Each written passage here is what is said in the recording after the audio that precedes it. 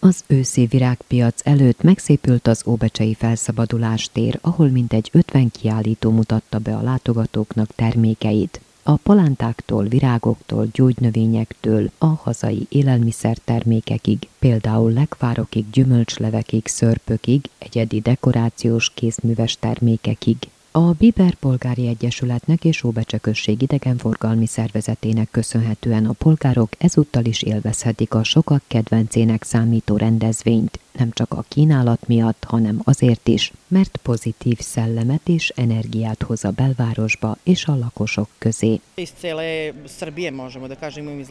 Egész Szerbiából vannak kiállítóink, és vannak olyanok is, akik most először jöttek erre a rendezvényre.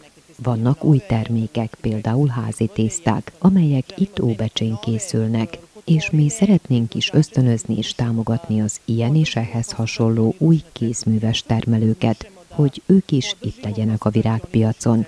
És szerencsére az időjárás is remek, a négy napos eső után ma süt a nap, és én mindig örülök annak, ha előtte esik az eső, mert akkor a virágpiac biztosan nagyon látogatott lesz. Beszéltem a kiállítókkal, és azt mondják, elégedettek, úgy az emberekkel, mint az eladással és a látogatottsággal. Tehát amennyiben ők elégedettek, én még elégedettebb vagyok. A kiállítók között van a három és fél éves Mása Pleszkonyics édesanyja Vladislava Dobanovacski, aki az esti órákban, amikor Mása elalszik, a maga által készített termékeket állította ki. A stand humanitárius jellegű, és minden bevétel ennek a kislánynak a kezelésére megy. Mindenfélét készítek, például házi szirupokat, réteseket, lekvárokat, télire valót, kalácsokat, mindenfélét. Ezt szeretem csinálni, mert jó és hasznos dolog is egyben, és ezzel segíthetek a kislányomnak. Isztambulba készülünk diagnosztikára, és minden óbecsei virágpiacon itt leszek, itt megtalálhatnak a házi termékeimmel. A virágpiacot őszi színek ékesítik, így egyes standokon olyan dekorációkat találhatunk, amelyek teljessé tehetik az otthonunkat, illetve olyan termékeket, amelyek békét és harmóniát hoznak minden térbe. Nálam különlegességeket lehet találni. Én lényegében mindent belga fehér csokiból készítek, de mivel most meleg van, nem hoztam ezekből a díszekből. Itt most levendulás dolgokat kínálok. Mivel van zentán egy kisebb levendula ültetvényünk, ezért most levendula szörpöt, levendula tasakokat, tinktúrákat és díszcsomagokat hoztam. Ezek mind kézi munkák.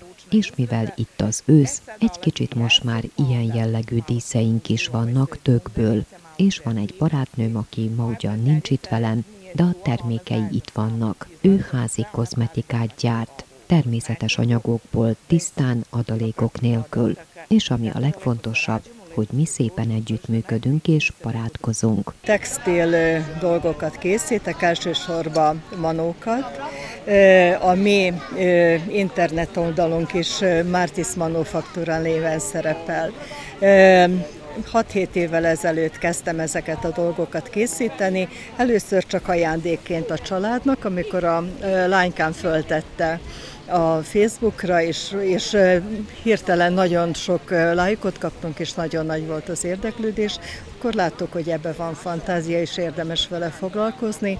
Azóta nagyon kibővült a repertoárunk, tehát mindent készítünk, ami egy kicsit a manóhoz kapcsolódik, tehát az évszakokhoz, az ünnepkörökhöz, aztán bővülnek kopogtatókkal, ajtó, ajtóasztal díszekkel.